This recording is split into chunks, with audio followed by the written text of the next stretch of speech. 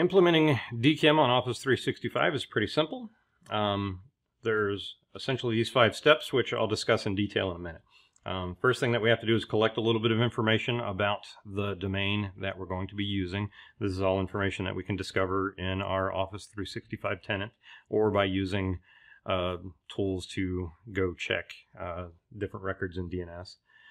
We need to, after collecting that information, we have to compile that data into two uh, records, to DKIM records that we're going to publish into DNS.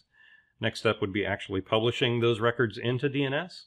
After publishing those, we want to do a quick test to make sure that everything's working correctly. Uh, and then we want to enable DKIM signing in Office 365.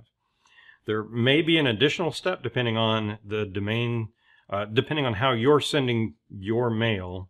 Um, there may be an additional step. Uh, if you're using other sources for sending email other than Office 365, so you're using a Constant Contact or SurveyMonkey or something along those lines, um, then you may have to perform some additional configuration to ensure that those sources are also signing the records or signing the emails rather uh, using uh, DKIM.